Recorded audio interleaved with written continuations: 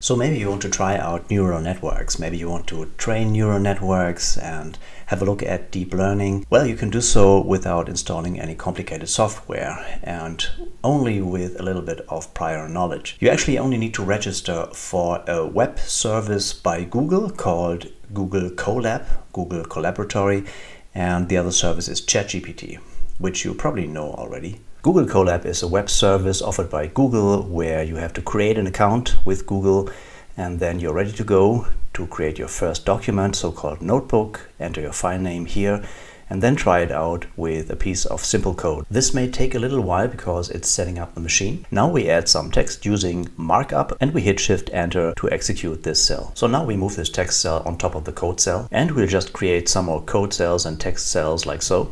And of course, you can also delete them. So this is how you operate a Jupyter Notebook on Google Colab. Let's now move over to ChatGPT to first get and prepare some interesting data. CIFAR10 is a dataset consisting of 60,000 small images, each belonging to one of 10 classes. We also want to display one image example for each category. Now we want to try out our code. In Google Colab, we first insert some text, headlines, and now we copy over the code from ChatGPT into a coding cell and execute it. In the last line of this code snippet, the data is downloaded from a website and bound to four variables for training and test data.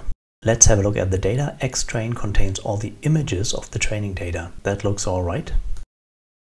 The next piece of code displays 10 images from the training data, including the categories, so you get a feeling for the data.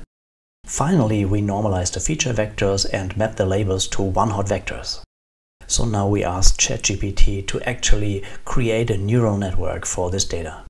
We call the neural network a model and we see here how different layers are added. Most importantly, convolutional layers, pooling layers and dense layers. We move over to Google Colab and paste in the code only for creating the model and we make it a little nicer this is the way usually a human data scientist would lay out it. Now we adjust the epochs, which is the training duration to 40 to make a little bit quicker.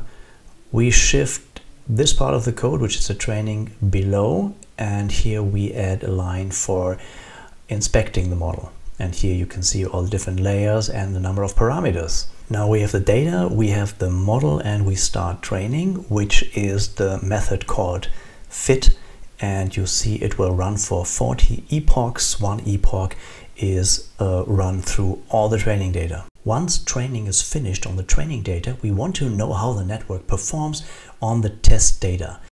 Only this line here is relevant and so we paste it here and we see the value is 79% on the test data. For further analysis, it's sometimes good to look at the confusion matrix, which shows you which categories are confused with which other categories. Small mistake here, I pasted in some text, let's delete it. Now we see the matrix, the diagonal contains all the correct predictions. Let's have a look at the error cases. So those cases where confusion occurred, we generate some code, paste it in here. Okay, we have some mistakes. The class names must be pasted in here and then we can run again and we see here layout is not perfect some of the images that have been wrongly classified. So this concludes our very quick journey where we used ChatGPT and Google Colab to load data, the dataset CIFAR10, prepare the data, create a neural network, train the network on this data, and evaluate the network's performance, achieving 79% on CIFAR10, which is not bad, and even looking at some of the mistakes that the network makes. I hope this video helps you getting started with deep learning. See you in the next video.